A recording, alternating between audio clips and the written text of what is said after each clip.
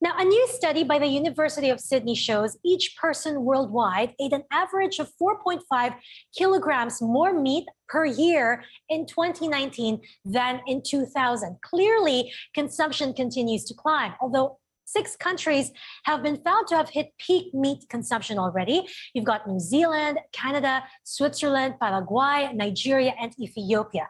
Well, the US and Europe could hit it by 2025. Now, this morning, we're going to take a look at meat consumption here in the Philippines with Anthony Ng, CEO of North Star Meat Merchants. Tony, good morning. Thank you so much for joining us.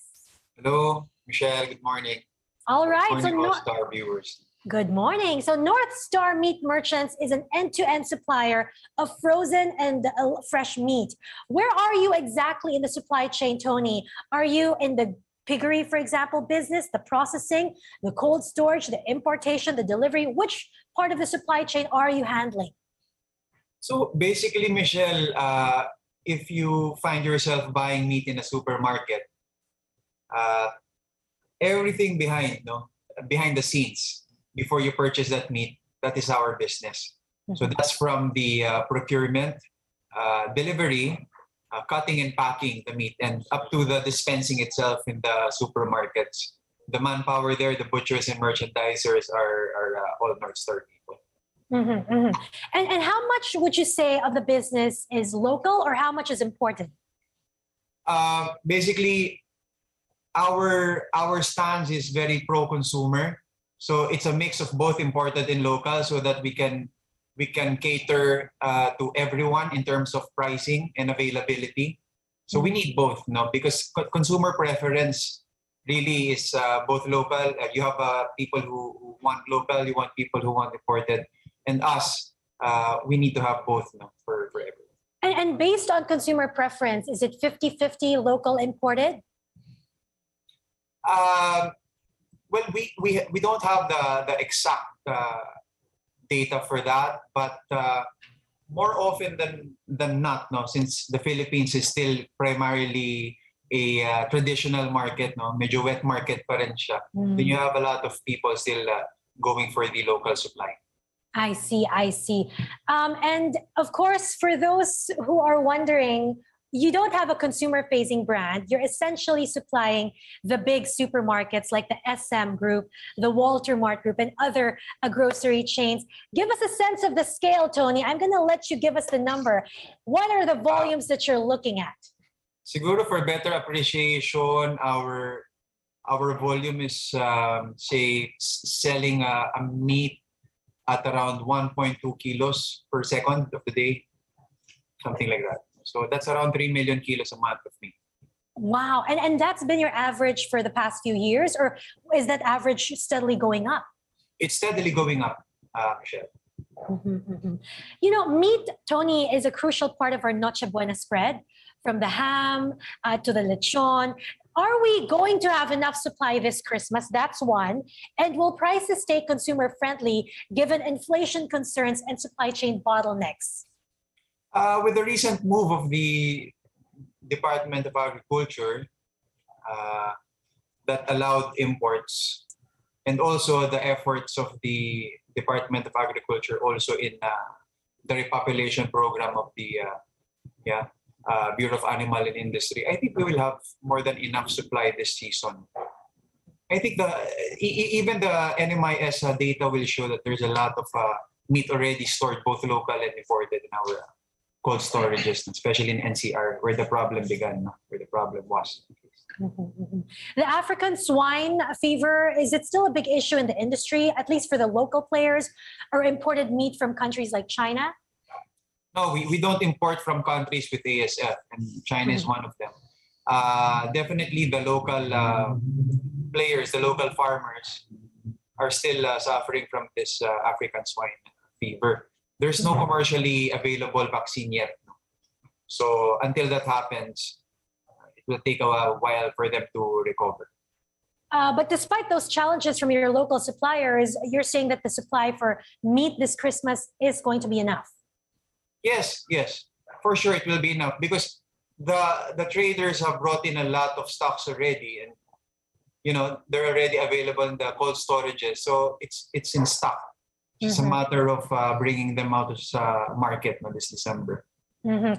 Um, Tony, um, I'm looking at a report from the DA that said that while you know traders are allowed to import more pork now, only 42% of the expanded pork minimum access volume or the volume ceiling for importation had been used as of end November. So we haven't used that up yet, and they're saying that pork prices or meat prices are seeing an inflation rate of 10.7%.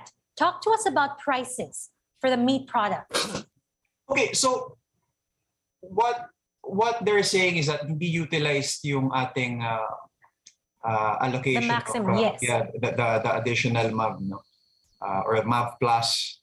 Uh, the, if we remember, the DOF naman uh, said, no, sila Secretary Chua, that there's a natural barrier to the uh, importation or over importation of meat. And those are the cold storages. And now that the cold storages are full, you you won't find traders na who will bring in more meat, no? Because they have nowhere to store already. So basically, that that was a safeguard. eh, That, that, that was a natural barrier no, to to make sure that we don't over over uh, import Uh-huh, uh-huh. and uh, and then we have also to to to to, to be very clear which which pork is which kind of pork is uh, increasing in terms of price now is that the local pork or the imported pork? Because uh, we do our internal monitoring and uh, at least what we see is that imported pork in the wet markets have substantially really gone down already. Uh, yung local po, no, uh, local uh, pork ang medyo umakyat because of constraints no, uh, ng ASF, and then the fuel cost, and then yung feed cost nila umakyat. So those are the ones. Okay, but but they will remain um, affordable for this Christmas, or are you expecting Yes, another yes, for round sure, of for price sure. If we look at if we look at the prices from a year ago and now, yes, definitely everything has went down. ah, okay, Availability also, availability also has uh, uh, improved. Okay, that's good to know. Tony, just want to clarify when you say you're into the meat business, are you only handling pork or do you also handle beef, uh, seafood, other forms of meat? Uh, we're into beef, pork, and a little bit a little bit of poultry. And a little bit of poultry. And of the three, uh, which one is the strongest for Filipino consumption? For Filipino, it's still pork because It's pork, is, pork. is a very dynamic uh, meat. Okay. And, then- and, yeah, yeah. and, and Tony, we, we mentioned earlier how you don't have a consumer facing brand yet. Do you have plans to set up one? No, we're as of now. That's that's not our uh, that's not in our field of vision. No. Mhm. Uh, we're happy to be supporting these brands to share in the success no, of, of their uh, brands. no. So Mhm. we're just happy being the partner behind the scenes, so to say. All right. When you look at the Filipino diet, um, did the pandemic change the way that we, you know, eat? That Filipinos bought or consumed meat products? Um, I know that it's not just the pandemic; it's the lockdown, the economic consequences of that. I mean, unemployment is still high. Uh, many people have had to suffer or take pay cuts, and and that that that did that have an impact on consumption? Okay, in terms of consumption, well, mas nagtipid ang Filipino family. So they'd rather Mm. buy uh, uh, a kilo of meat, portion it for the family rather than, you know, you go to restaurants and it's a little bit more pricey, no? So mas naging ganyan po yung consumption natin, community-based.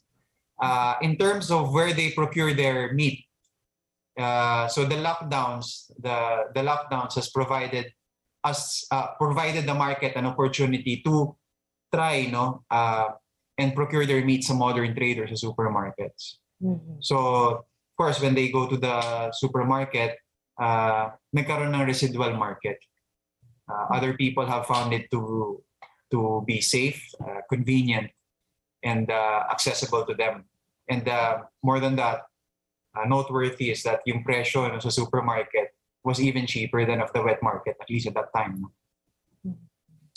Uh, when you look at the last two years, Tony, how would you say how were you able to navigate through the pandemic in the last two years? Would you say that you managed to um, thrive during the pandemic period, or like most other businesses, did you also take a big hit?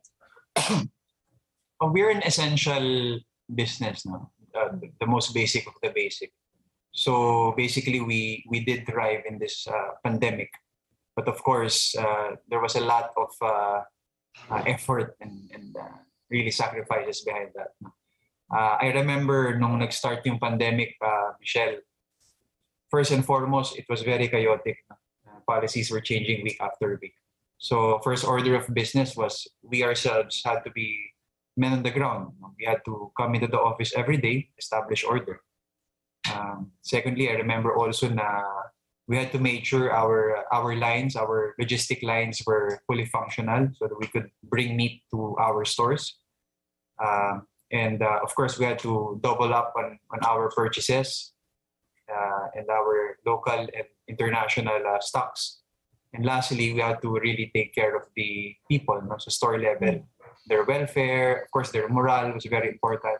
We had to be also very creative. I think we're one of the the few and the first companies who bought a lot of these bikes and you know dispensed them sa ating mga manpower so they could have a right access to their to their work. Mhm. That, that's good to know, Tony. Uh, You know, the pandemic may may seem like it's starting to wind down, but we hear there's a lot of uh, global supply chain disruptions happening right now. Since you do a lot of the importation, could you share with us how the situation is on the ground with your supply chain?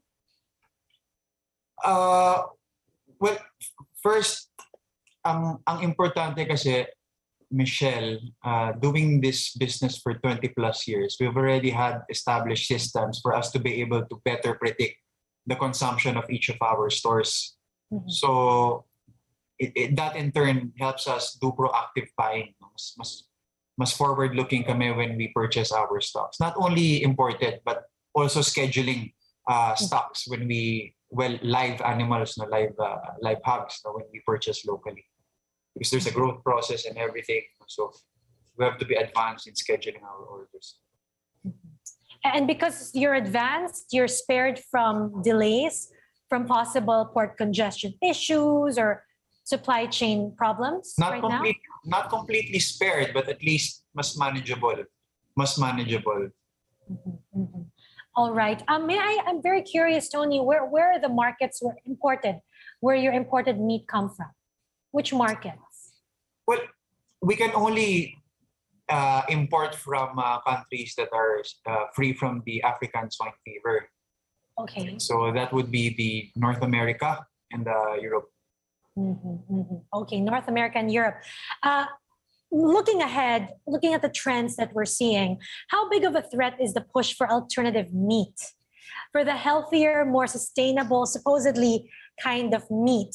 And how much more time before you think alternative meat catches up, the plant-based meat? That's gonna that's gonna impact your business, right? That's a very interesting question. But uh, you see, alternative meat is, is still requires uh, uh, deliveries of uh, well frozen delivery, diba? It's it, it still needs the cold logistics. Mhm. So basically, that's our business. So whether it be alternative meat, traditional meat, they will they will still have to use our pipeline no, to get those products into the stores, and that's our business. So it's actually uh, a new avenue of revenue for us. Ah, Okay lang, okay lang. Actually, diba? So, so you also own the cold storage facility. It's it's end to end. So we're from the cold storage to the stores to the dispensing, and from Ah. procurement, and and also we heavily work with the uh, local uh, farmers also because we we also have our own uh, slaughter facility. Mm, okay, okay. Thank you for clarifying that up. Um, Tony, final question. We were talking earlier behind the scenes, and you did mention how this business started. Um, Yes. it, it's a thesis, right? Could you share with us this fascinating story? Yeah, that's, that's a long time, mga 22 years nga tayo. Uh, I uh, I was a student at the University of Asia and the Pacific. At that time, the entrepreneurial management program was an experimental course, so we didn't have a thesis. For you to be able to graduate, you had to have your own business. It was either you innovated a business, uh, resurrected the business, or created a new business altogether. Uh, and then you had to at least earn mga, if I remember right, you had to prove you were earning around 20,000 net uh, per month or else you won't graduate. So that's how it started. third year creating this business. Wow. And and Eventually, 20, the same business to know. yeah, 20 years after, here you are. What sort of expansion plans are you having on the drawing board for next year and the next two to three years, perhaps? What sort of Yeah, growth well- are you looking Well, uh, yeah, we're we're looking for expanding ourselves in in terms of uh, more partners. No, so that means more stores, uh, more more outlets, and then of course improve our uh, uh, our assets. No, it's a cold chain. That means putting up these uh, cold storages around the country. Mhm, mhm. Uh, two things. Number one, how many stores or outlets do you supply? Just for context. Uh, now around the close to 400, Close to 400 400. stores nationwide. Yes. All right, close to 400 stores. And it appears to be that the cold storage business is a major part of what you do. Um, did you ever think about uh, playing a role in the vaccination, in keeping and the storage of these vaccines, or not? We were tapped by the LGU where our plant was before, but uh, I think hindi rin natuloy, Michelle. I think they, they were very efficient. No? They didn't have to store when, when the vaccines came in. They were immediately able to dispense it. Ah, so, nice. kudos doon sa aming LGU. All right. On that note, Tony, thank you so much for joining us this morning for the inspiring story and for sharing with us insights about meat consumption here in the Philippines. Thank you. Thank you so much, Michelle. You know, Tony, um, we've been talking for what, 10, 15 minutes? I can only imagine how many kilos of meat you're able to sell already. That's 1.2 kilos per second, right? Yeah, 1.2 uh, per second. Yeah. All right. We'll talk to you soon. Thank you. Thank you. See you again. Please take care.